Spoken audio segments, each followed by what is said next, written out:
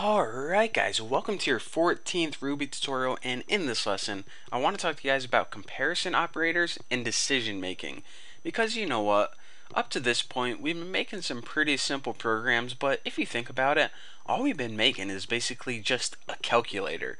Not very exciting, not very smart, but the key thing is with Ruby and not only with Ruby but with good computer programs, they do more than just add and multiply and divide numbers a good computer program can make a decision. It could look at a test, and depending on that test or depending on the criteria, it can either run this code or that code. So aside from just, you know, crunching numbers, it can actually have a brain and decide things. So let me go ahead and show you guys how to do that right now. So say that we wanted to make a program where the user inputs their weight and maybe if it's too big or maybe if it's too small we need to tell them to lose some weight or eat some or eat some cheeseburgers or something like that. So let me go ahead and say the weight they entered was 120 pounds.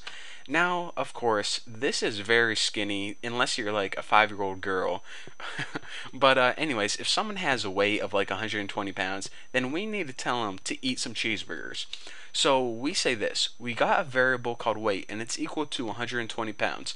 Now, let me show you guys a simple comparison operator in a simple way that Ruby can make decisions. We're going to say puts you need to eat can I spell eat? E-A-T. There I go. Some cheeseburgers. And by the way, did you guys ever try Five Guys burgers and fries? It is delicious. I just tried it for the first time about a week ago. If you never tried it before, I'd highly recommend it. Okay, so what we're going to say is puts you need to eat some cheeseburgers, and if we just go ahead and enter now, it's just going to write that on the screen no matter what. But we don't want to write this on the screen no matter what.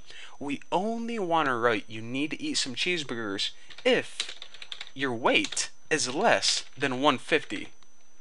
So basically we're saying, okay, write this on the screen, but only write it on the screen if the weight is less than 150 because if you weigh less than 150 then you're going to need to eat something. If you weigh more than 150 then you're fine you're healthy. So we're going to go ahead and hit enter and check it out. It writes you need to eat some cheeseburgers because weight was 120 and 120 is less than 150 so just remember this. Whenever you want to make a simple test in Ruby, you use the keyword if.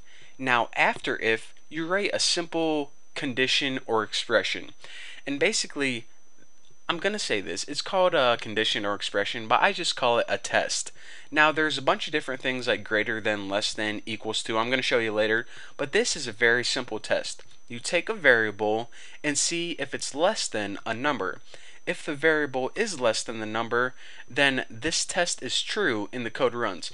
If the variable is more than, well, I'll show you guys. So say that weight is now equal to 600. Okay, well now we run our test again. And by the way, for those of you who don't know what I'm doing, if you hit up on your keyboard, then it just cycles through your previous statements. So check it out. We now set the weight equal to 600, so it overrides the old value of 120. So now the weight is greater than 150. So this test is no longer true. We only want to run this code if the weight is great or excuse me, if the weight is less than 150. Now that they weigh more than 150, we don't need to say you need to eat some cheeseburgers. So go ahead and hit enter and look at this. Unlike last time where it outputted you need to eat some cheeseburgers, it doesn't output anything anymore. So just remember that in order to make a simple test, write if and then your test. If the test is true, then your code is going to run.